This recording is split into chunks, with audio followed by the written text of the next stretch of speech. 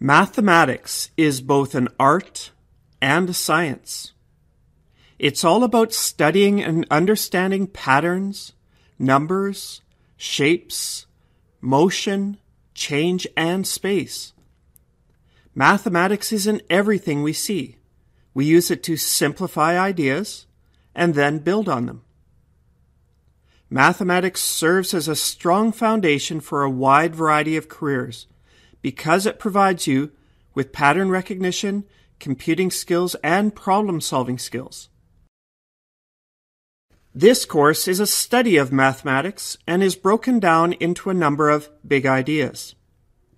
Within each of these big ideas, you will help build some core skills, including your thinking skills, your communication skills, and your ability to smartly navigate both personal and social issues.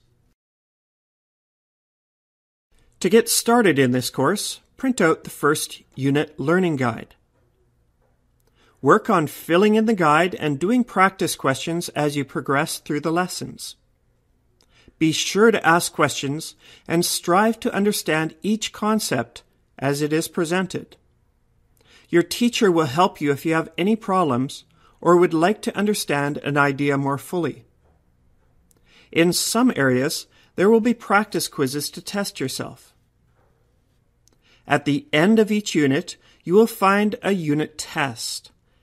Ensure you've submitted your learning guide and completed quizzes before writing the unit test. Work hard and do your best. If you do, you'll get the chance to become a great problem solver.